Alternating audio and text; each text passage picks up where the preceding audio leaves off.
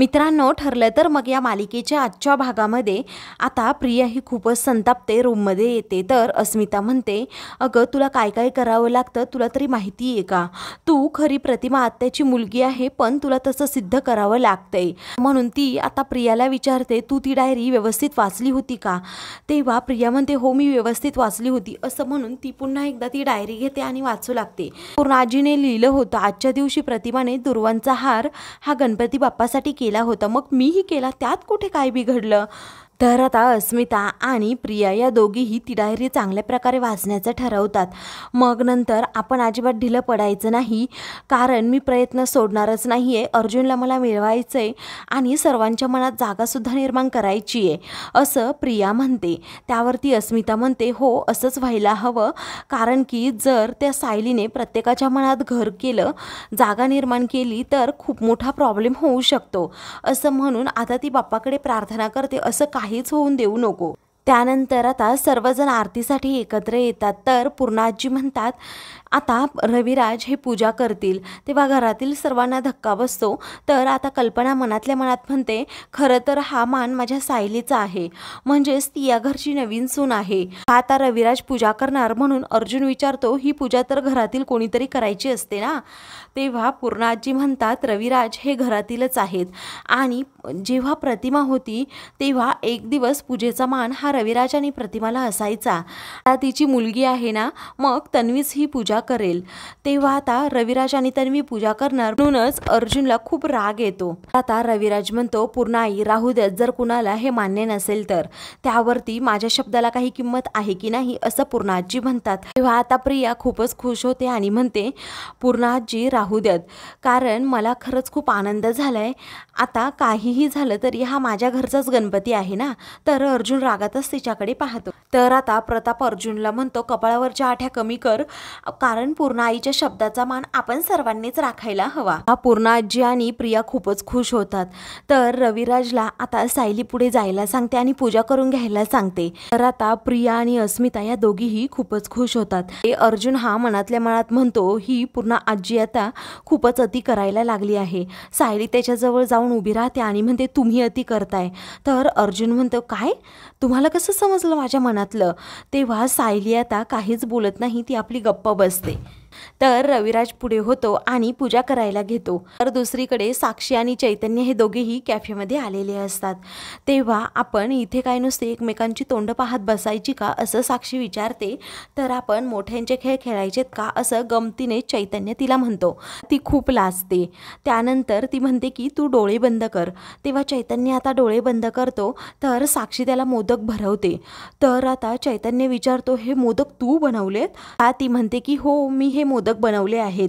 चैतन्य पटपट ते आता मोदक खातो आणि म्हणतो काय माइंड ब्लोईंग झाले आहेत. असं म्हणून तो तिचं खूप कौतुक करतो आणि म्हणतो तू एवढी मॉडर्न आहे मला असं वाटत नाही की तू अशी रूढी परंपरा जपतेस म्हणून. ती साक्षी म्हणते मी अशी दिसत असले ना तरीही मला हे सर्व काही आवडतं.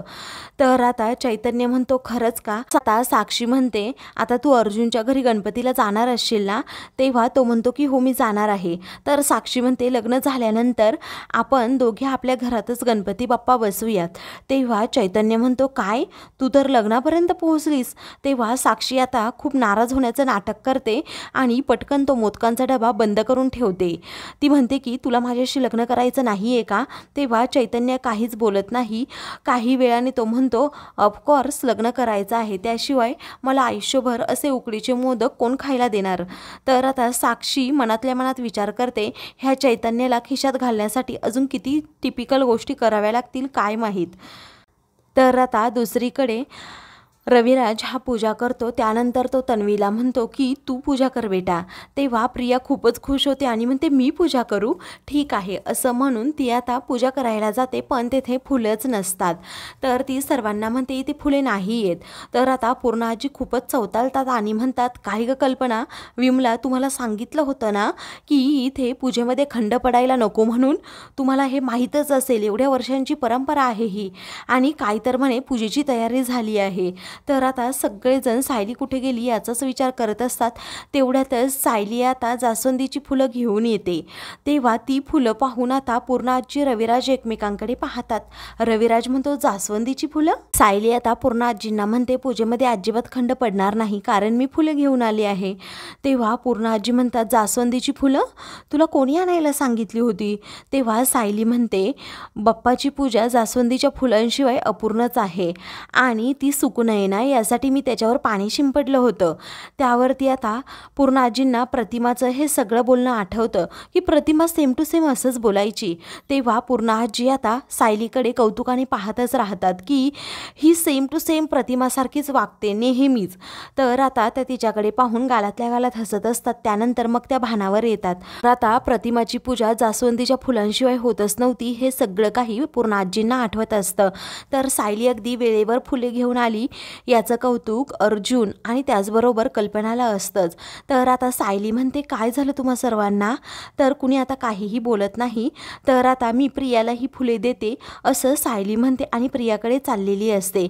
तेव्हा तिचा पाय जोरातच अडखळतो त्यामुळे ती सगळी फुलं आता बाप्पाजवळ जाऊन पडतात. त्यामुळे आता सायलीच्या हातूनच ती फुले वाहिली जातात. तर सर्वजण आश्चर्य व्यक्त करतात. तर अस्मिता आता तोंडालाच हात लावते. तेव्हा ती म्हणते की सॉरी माझा पाय अडखळला. तर रविराज हा सायलीकडे पाहतच राहतो. तर अस्मिता आता खूपच बोलते आणि म्हणते हा काय मान तुझा होता का? तू फुलं का वाहिली? तेव्हा सायली आता माफ करा मला. कारण मी ही स्वतः फुलं वाहिली नाही. अहो माझा पाय अडखळला. तेव्हा आता प्रिया आणि अस्मिता या दोघीही खूपच चिडतात. आता हा मान सायलीचाच होता ती या घरची सून आहे असं कल्पना म्हणते. पूर्ण आजी म्हणतात मला आता वाद नकोय सर्वांनी शांत बसा. रविराज तुम्ही पूजा सुरू करा. आता प्रिया मनातल्या मनात विचार करते सायली हीच प्रतिमाची मुलगी आहे देव संकेत तर देत नाही ना? असं म्हणून ती खूपच नाराज होते. त्यानंतर रविराज आता आरती सुरू करतो. सर्वजण आरतीमध्ये अगदी तल्लीन झालेले असतात. आता आरती सुरू असताना काही काही वेळाने रविराज हा प्रियाला पुढे बोलवतो. तेव्हा प्रिया आता पंचारती हातात धरणार असते परंतु तिचा हात खूप जोरात भाजतो. त्यामुळे ती पंचारती त्या दोघांच्याही हातातून खाली निसटते तर सायली ती पंचारती हातात धरते. आता सर्वजण खूपच घाबरलेले असतात आणि तोंडाला हात लावतात की सायलीचा हात भाजला की काय? परंतु तसं काहीही झालेलं नसतं. सायलीने अगदी सुखरूपरित्या ती पंजारती हातात धरलेली असते आणि सायली आता स्वतः आरती करू लागते.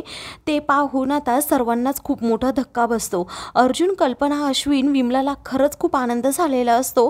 तर आता रविराज देखील सायलीकडे सारखा पाहत राहतो आणि नम्रपणे हात जोडत आता तोही आरतीमध्ये सहभागी होतो. तर प्रताप म्हणतो नक्की काय चाललंय ना? मला कळतच नाही. या मुलीच्या हातून मगाशी फुलं वाहिली गेली. आणि आता काय पंचारती तिने धरली.